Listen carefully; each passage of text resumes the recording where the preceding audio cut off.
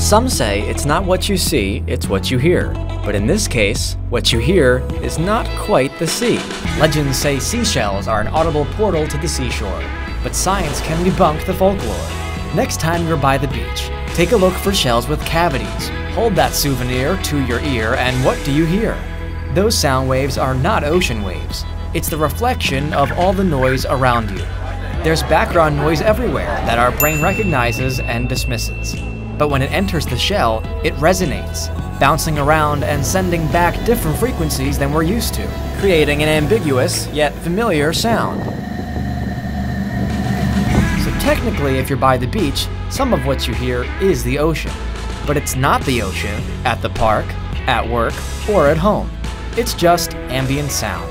We associate this white noise with the ocean, and not just because it's where seashells come from, but because these sound waves sound like waves lapping on the shore. For more 6ABC Discovery, subscribe to our YouTube channel.